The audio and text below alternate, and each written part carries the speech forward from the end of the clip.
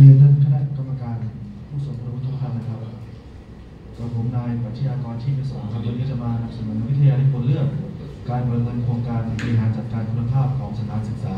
สู่ความเป็นเลิศของโรงเรียนบ้านท่าเยี่ยมวิทยายนนะครับสำนักงานเขตพื้นที่การศึกษาประถมศึกษานครราชสีมาแห่งเจ็ด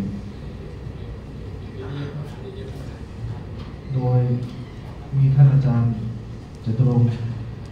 ศรีรังกูลนะครับเป็นอาจารย์ที่ปรึกษาวิทยานิพนธ์นะครับความเป็นมาและความสำคัญของปัญหานะครับ การศึกษาคือรากฐานที่สำคัญในการพัฒนาประเทศเพราะการศึกษาเป็นกระบวนการพัฒนาบุคคลซึ่งเป็นสมาชิกของสังคมให้เป็นผู้มีคุณภาพและมีคุณลักษณะอันพึงประสงค์ทั้งด้านความรู้ทักษะเกียรติคติตั้งแต่แรกเกิดและทุกช่วงชีวิต ถ้าบุคคลในสังคมเป็นผู้มีคุณภาพและลักษณะอันพึงประสงค์ ก็จะเป็นกำลังในการพัฒนาประเทศนะครับ กระทรวงศึกษาธิการนะครับพุ่งจัดการศึกษาที่ดีเลิศโดยทำให้โรงเรียนเป็นโรงเรียนที่มีคุณภาพ มีการเรียนการสอนที่มีคุณภาพ มีห้องเรียนคุณภาพ ผู้เรียนมีคุณภาพได้มาตรฐานสูงในระดับสากลเพื่อโอกาสทางการศึกษา การเรียนเพื่อให้คนไทยได้เรียนรู้ตลอดชีวิตอย่างมีคุณภาพนะครับทางสำนัก งานเขตพื้นที่การศึกษาประถมศึกษานครราชสีมาเขตเจ็ดได้ตระหนักและเห็นความสำคัญในการจัดการศึกษาและพัฒนาคุณภาพ การจัดการศึกษารวมให้ความสำคัญกับสถานศึกษาในเขตพื้นที่ที่รับผิดชอบทั้งหมด จะต้องจัดการศึกษาอย่างมีคุณภาพ โรงเรียนบ้านท่าเยี่ยมวิทยายนจึงได้นำนโยบายของกระทรวงศึกษาธิการและสำนักงานเขตมาปฏิบัติ โดยทำโครงการบริหารจัดการคุณภาพของสถานศึกษาสู่ความเนเลิศนะครับ ผู้วิจัยจึงได้เห็นความสำคัญ และได้ศึกษาแนวทางการส่งเสริมการจัดกิจกรรมตาม การประเมินโครงการบริหารจัดการคุณภาพของสถานศึกษาสู่ความเลิศของโรงเรียนบ้านท่าเยี่ยมวิทยายนสำนักงานเขตพื้นที่การศึกษาประถมศึกษานครราชสีมาเขตเจ็ดโดยใช้รูปแบบการประเมินโครงการตามรูปแบบ CPS model ของ Daniel s t o p p i n นะครับวัตถุประสงค์ของการวิจัยครับหนึ่งเพื่อประเมินโครงการ บริหารจัดการคุณภาพของสถานศึกษาสู่ความเป็นเลิศของโรงเรียนบ้านท่าเยี่ยมวิทยายนสำนักเขตพื้นที่การศึกษาประถมศึกษานครราชสีมาเขตเจ็ดโดยใช้ CPS model ครับสองครับเพื่อศึกษาแนวทางการส่งเสริมการจัดกิจกรรมตาม การประเมินโครงการบริหารจัดการคุณภาพของสถานศึกษาสู่ความเป็นเลิศของโรงเรียนบ้านท่าเยี่ยมวิทยายนสำนักเขตพื้นที่ การศึกษาประถมศึกษานครราชสีมาเขตเจ็ดครับ ความสำคัญของการวิจัยครับ หนึ่งทำให้เราทราบผลการดำเนินงานโครงการบริหารจัดการคุณภาพ ของสถานศึกษาสู่ความเป็นเลิศของโรงเรียนบ้านท่าเยี่ยมวิทยายครับสองทำให้ได้แนวทางการส่งเสริมการจัดกิจกรรมตามกิจกรรมตามโครงการบริหารจัดการคุณภาพของสถานศึกษาสู่ความเป็นเลิศของโรงเรียนบ้านท่าเยี่ยมวิทยายนสามหน่วยงานเกี่ยวข้องรวมถึงโรงเรียนที่มีบริบทคล้ายคลึงกันสามารถนำผลที่ได้จากการวิจัยไปประยุกต์ใช้ ในการพัฒนาโครงการบริหารจัดการคุณภาพของสถานศึกษาสู่ควาเลิศครับกรอบแนวคิดในการวิจัยนะครับหนึ่งครับโครงการบริหารจัดการคุณภาพของสถานศึกษาสู่ควาเลิศของโรงเรียนบ้านท่าเยี่ยมวิทยายนสำนักงานเขตพื้นที่ประถมศึกษานครราชสีมาเขตเจ็ดการประเมินครับการประเมินโครงการจัดการคุณภาพของสถานศึกษาสู่ควาเลิศของโรงเรียนบ้านท่าเยี่ยมวิทยายนครับโดยใช้ CPS model ครับจะประกอบไปด้วยหนึ่ง ด้านบริบทครับ 2 ด้านปัจจัยเบื้องต้น 3 ด้านกระบวนการ 4 ด้านผลผลิต และด้านผลผลิต ด้านผลผลิตก็จะแบ่งย่อยออกมาเป็นหนึ่งครับ ด้านผลกระทบ 2 ด้านประสิทธิผล 3 ด้านความยั่งยืนและก็4ด้านความสามารถที่จะถ่ายทอดได้ครับ 3 ครับ เราก็จะได้แนวทางในการส่งเสริมการจัดกิจกรรมตามโครงการบริหารจัดการคุณภาพของสถานศึกษาสู่ความเป็นเลิศ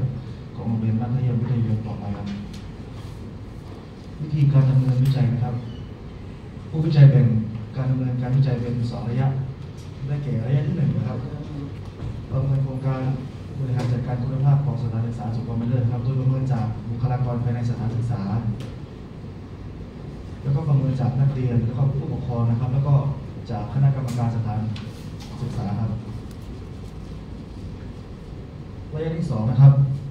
แนวทางการส่งเสริมการจัดกิจกรรมตามโครงการบริหารจัดการคุณภาพของสถานศึกษาสุขภาพเลิศครับ ในระยะที่สองนี้ ผู้วิจัยก็ได้สัมภาษณ์ผู้ทรงคุณวุฒิเพื่อหาแนวทางการส่งเสริมการจัดกิจกรรมตามโครงการบริหารจัดการคุณภาพของสถานศึกษาสุขภาพเลิศนะครับ วิธีการดดำเนินการวิจัยนะครับและในระยะที่หนึ่งนะครับ วิธีการก็คือนะครับประเมินจากบุคลากรภายในสถานศึกษา โดยตัวแปรที่ ศึกษาได้แก่หนึ่งด้านบริบทสองด้านปัจจัยเบื้องต้นสามด้านกระบวนการสี่ด้านผลผลิต โดยใช้เครื่องมือแบบประเมินชุดที่หนึ่งนะครับกลุ่มตัวอย่างก็ได้แก่ผู้บริหารสถานศึกษาจำนวนหนึ่งคนครูและบุคลากรทางการศึกษาจำนวนสิบหกคนครับสองประเมินจากนักเรียนและผู้ปกครองนะครับ ตัวแปที่ศึกษาก็ได้แก่ด้านผลผลิต เครื่องมือที่ใช้ครับแบบประเมินชุดที่สองกลุ่มตัวอย่างได้แก่ตัวแทนนักเรียนจำนวน11 คนนะครับ แล้วผู้ปกครองของนักเรียนจำนวน11 คนนะครับ สามประเมินจากคณะกรรมการสถานศึกษานะครับตัวแปรที่ศึกษา ได้แก่ด้านบริบทและด้านผลผลิตนะครับ เครื่องมือที่ใช้แบบประเมินชุดที่สามกลุ่มตัวอย่างก็ได้แก่คณะกรรมการสถานศึกษาจำนวนเจ็ดคนครับ ในในระยะที่สองนะครับ ในระยะที่สองนี้ ผู้วิจัยก็ได้หาแนวทางการส่งเสริมการจัดกิจกรรมตามโครงการบริหาร จัดการคุณภาพของสถานศึกษาสู่ความเป็นเลิศนะครับโดยวิธีการก็คือสัมภาษณ์สัมภาษณ์ผู้ทรงคุณวุฒิตัวแปรที่ศึกษาก็ได้แก่แนวทาง การสัมภาษณ์ตามโครงการบริหารจัดการคุณภาพของสถานศึกษาสู่ความเป็นเลิศนะครับ เครื่องมือก็ได้แก่แบบสัมภาษณ์นะครับ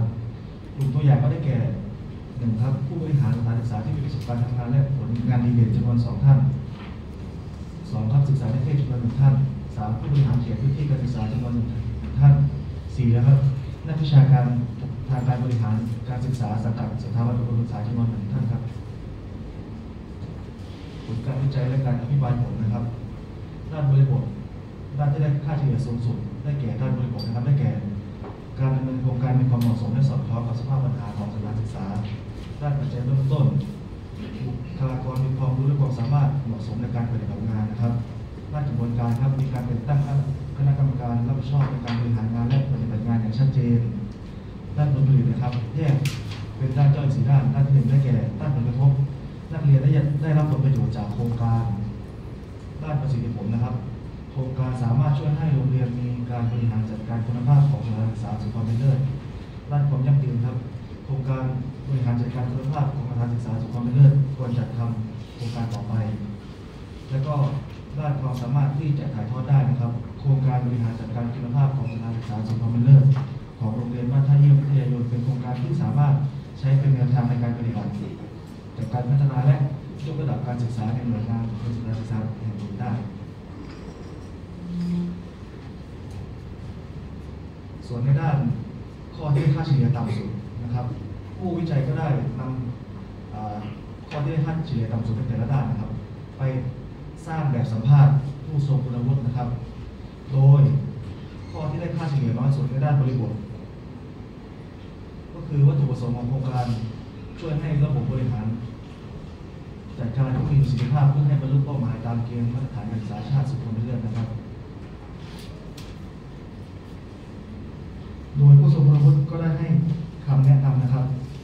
แล้วก็ให้แนวทางดังนี้นะครับ วัตถุประสงค์ครับเป็นแนวทางในการค้นหาคำตอบของประเด็นปัญหาหรือปัญหา ช่วยทำให้ทุกคนมีส่วนเกี่ยวข้องมองเห็นปัญหานะครับ ให้ชัดเจนมากขึ้นมีเป้าหมายในการแก้ปัญหาที่แน่นอน ฉะนั้นวัตถุประสงค์จึงมีส่วนที่สำคัญในการดำเนินงานหรือโครงการต่างๆ ให้ประสบความสำเร็จนะครับ ซึ่งเราก็จะได้กระบวนการในการแก้ไขปัญหานะครับก็คือการสร้างความเข้าใจนะครับ การสร้างแรงจูงใจและการแล้วก็กระบวนการมีส่วนร่วมนะครับข้อที่ได้ค่าเฉลี่ยน้อยสุดในด้านปัจจัยเบื้องต้นนะครับ ความพอเพียงของงบประมาณในการดำเนินโครงการและจำนวนบุคลากรมีความเพียงพอในการปฏิบัติงานนะครับ ผู้สมรู้ก็ได้ให้แนวทางในการแก้ปัญหาก็คือสถานศึกษานะครับก็จัดงบประมาณจากเงินอุดหนุนหรือการระดมทุนเพื่อให้ใช้จ่ายงบประมาณอย่างพอเพียงให้เป็นประโยชน์สูงสุดและเรื่องจำนวนบุคลากรนะครับ ให้ครูตระหนักถึงความสำคัญของกิจกรรมต่าง ๆ ของโครงการสร้างแรงจูงใจพร้อมให้กำลังใจในการทำงานและดึงศักยภาพ บุคลาที่มีอยู่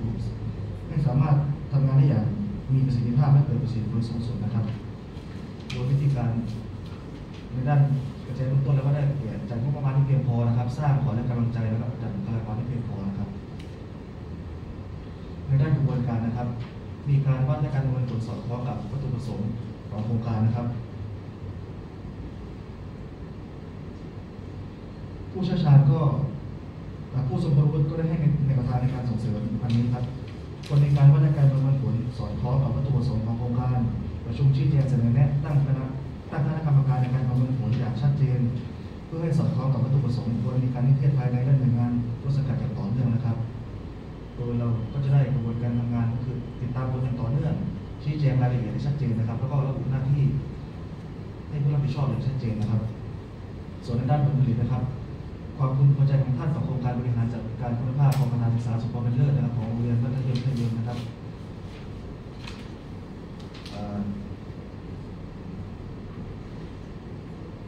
ผู้ผู้ทรงคุณวุฒินะครับ ก็ให้แนวทางในการแก้ปัญหาคือ ประชาสัมพันธ์ในหลายรูปแบบนะครับ สร้างความเข้าใจต่อการทำงานนะครับ และแสดงให้เห็นถึงความสำคัญของการจัดกิจกรรมนะครับ แล้วก็โดยรวมในด้านผล ลผลิตนะครับ สถานศึกษามีโครงสร้างการบริหารจัดการที่มีประสิทธิภาพ ส่งผลให้เกิดการจัดระบบการเรียนการสอนที่มีคุณภาพ ผู้เรียนและชุมชนมีความสุขรวมถึงระบบสารสนเทศที่ครอบคลุมและมีการจัดการคุณภาพการศึกษาดูดำเนินการตามแผนเพื่อยกระดับคุณภาพของสถานศึกษาสู่ความเป็นเลิศนะครับ ข้อเสนอแนะในการทำวิจัยครั้งนี้นะครับหนึ่งครับด้านบริบท ก็คือขาดความ รู้และความเข้าใจถึงความสำคัญของวัตถุประสงค์ของการดำเนินงานดังนั้นโรงเรียนต้องมีวัตถุประสงค์ที่มีเอกภาพ ต้องตั้งเป้าประสงค์และวิสัยทัศน์ร่วมกันกับบุคลากรหรือผู้มีส่วนเกี่ยวข้องของโครงการ เพื่อจะทำให้เห็นถึงความสำคัญของความร่วมมือของบุคลากรทุกฝ่าย เพื่อจะก่อให้เกิดประโยชน์สูงสุด ต่อกิจกรรมหรือโครงการที่ทุกคนล้วนเป็นเจ้าของร่วมกันนะครับ ก็เสนอแนะในด้านปัจจัยนำเข้านะครับ งบประมาณและบุคลากรไม่เพียงพอนะครับสำหรับการจัดกิจกรรมหรือการดำเนินโครงการนะครับโรงเรียนต้องมีการวางแผนควบคุมประสานงานดำเนินงานด้านงบประมาณและอัตรากำลังเพื่อให้บรรลุถึงเป้าหมายที่ตั้งไว้ตามวัตถุประสงค์นะครับข้อเสนอแนะในด้านกระบวนการนะครับ ขาดความชัดเจนด้านการวัดและการประเมินผลสอดคล้องกับวัตถุประสงค์ของโครงการ ดังนั้นโรงเรียนต้องวิเคราะห์ตัวชี้วัดเพื่อกำหนดความสอดคล้องของการวัดและการประเมินผล สร้างและจัดทำคู่มือและประเมินผลตั้งคณะกรรมการในการประเมินผลอย่างชัดเจนที่เพื่อติดตามผลการดำเนินงานอย่างต่อเนื่องนะครับ ส่วนในข้อสุดท้ายนะครับเรื่องผลผลิตนะครับขาดความร่วมมือของชุมชนนะครับและความเข้าใจความพึงพอใจต่อการจัดกิจกรรมในการดำเนินโครงการดังนั้นโรงเรียนต้องประชาสัมพันธ์ในรูปแบบต่างๆ เพื่อสร้างความรู้ความเข้าใจใช้กระบวนการมีส่วนร่วมในการปฏิบัติงาน เพื่อสนับสนุนการจัดการคุณภาพทางการศึกษาสู่ความเป็นเลิศครับ ข้อเสนอแนะในการทำวิจัยในครั้งต่อไปนะครับหนึ่งครับควรมีการศึกษาเปรียบเทียบความคิดเห็นต่อการดำเนินโครงการบริหารจัดการคุณภาพของสถานศึกษา สู่ความเป็นเลิศของโรงเรียนมัธยมวิทยายนนะครับ ของบุคลากรที่รับผิดชอบ โครงการในลักษณะที่คล้ายกันนี้ในโรงเรียนนะครับ ของสามารถสองของสามารถเขียนพื้นที่การศึกษาประถมศึกษาและคอนราชสีมาเขตเจ็ดเพื่อจะได้ทราบมุมมองที่แตกต่างออกไปครับสองควรมีการศึกษาจุดเด่นของโครงการบริหารจัดการคุณภาพสถานศึกษาสู่ความเป็นเลิศ พัฒนาสมบูรณ์ยิ่งขึ้น และควรนำจุดด้อยของโครงการมาปรับปรุงให้เหมาะสมดียิ่งขึ้นครับสามครับควรมีการศึกษารูปแบบกิจกรรมใหม่ๆ เพื่อนำมาประยุกต์ใช้ในการดำเนินโครงการให้เกิดประสิทธิภาพและประสิทธิผลต่อไปครับ